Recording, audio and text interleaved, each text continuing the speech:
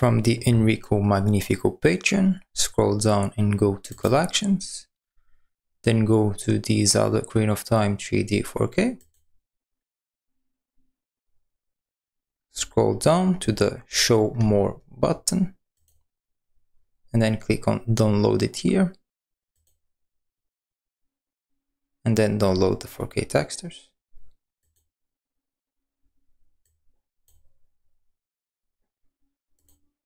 After the download is complete, go to where you have downloaded the textures and extract them.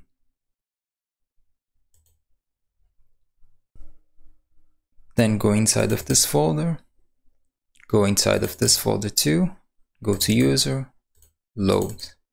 And if you don't see a textures folder here, go to view, show hidden items. It could be hidden for some reason. Then go to the textures folder go inside of this folder, press Ctrl A to select all the files and then copy or cut. Then go to Citra. I'm using the latest Pablo MK7 version of Citra or fork or build, however you want to call it. Then in Citra, right click on top of the game and go to open custom texture location and paste the textures inside of this folder.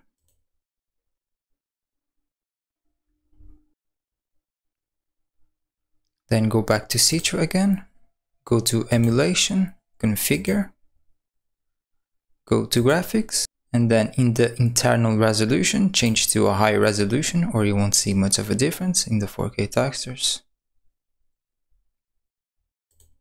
And then here at the bottom, turn on use custom textures.